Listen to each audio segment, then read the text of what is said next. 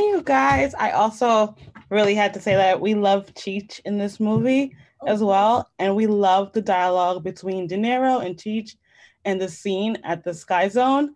But I wanted to know what you guys thought. What was your favorite scene and which one did you love the most? Which one did you like filming? I think for shooting, that, that Sky Zone was, you know, a lot of, uh, it was fraught with uh, a danger. I was I was terrified during the whole thing, and but you know it was going to come out good. You knew it was because how could you not have fun in a bouncy house trampoline deal? You know, playing dodgeball. I mean, that's. Yep.